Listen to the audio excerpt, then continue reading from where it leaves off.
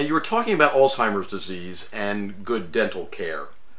What do you see as the connection there? Have we seen any studies that really lead us to believe that there are things with, in addition to what we've already talked about? So I think we don't have um, a cause for Alzheimer's. Even doctors don't know what causes Alzheimer's, and and we just speculate. We, we think, I guess, with old age, we we get a, a whole bunch of diseases, right? And Alzheimer's, we think that it's it's related to that, but now we have a new study that shows it may be linked to gum disease and and same thing because if the bacteria are entering your body and it's so close to your brain, it's a direct path, and then long term it causes Alzheimer's.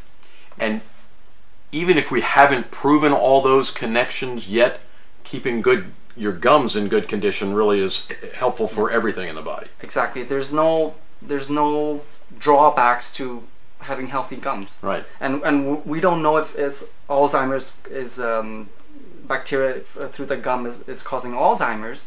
However, there's no you know there's no disadvantages in, in being healthy. Yes, let's Right. be, sh- be sure that's the case. Yes.